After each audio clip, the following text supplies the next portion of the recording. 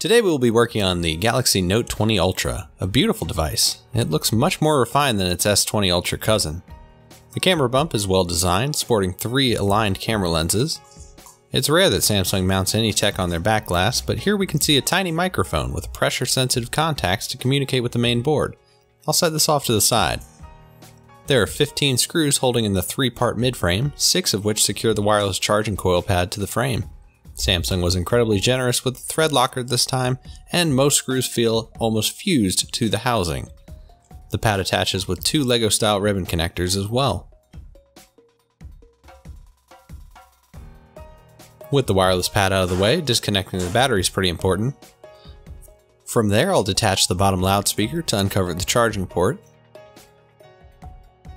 Next, the top mid frame, which houses the ear speaker. It doubles as a second loudspeaker to give the device stereo speaker output from both top and bottom. I'll disconnect the first 5G antenna block from both the main and sub boards. There are several more LEGO style connectors that need to be unclipped. Then I can unscrew the tiny daughter board at the bottom. Oddly enough, the charging port is not mounted on any kind of board. This teeny tiny PCB contains the lower microphone, along with several antenna band connectors.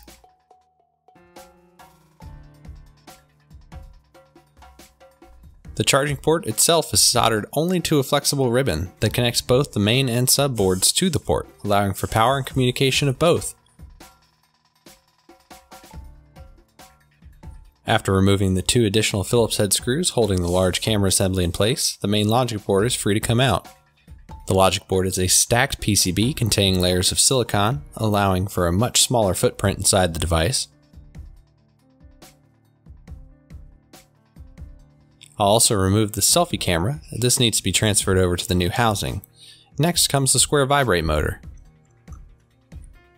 The lower 5G antenna block has two silver Phillips head screws holding it in, while the upper 5G antenna has two black Phillips heads.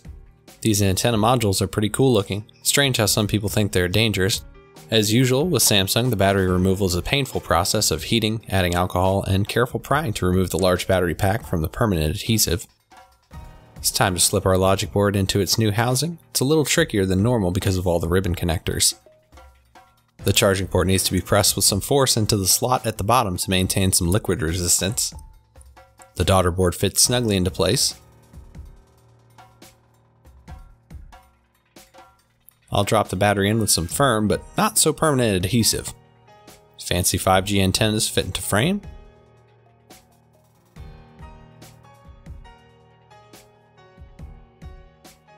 and we'll get the selfie camera reattached.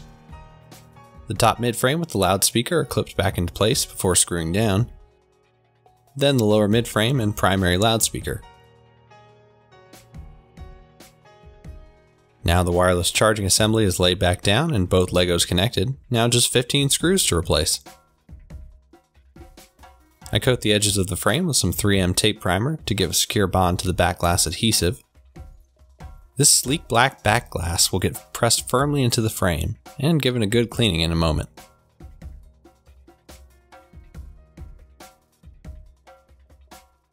With the plastics pulled off, and the S Pen placed back in its chamber, this device is ready to go. Thanks a ton for joining me, and I'll see you next time.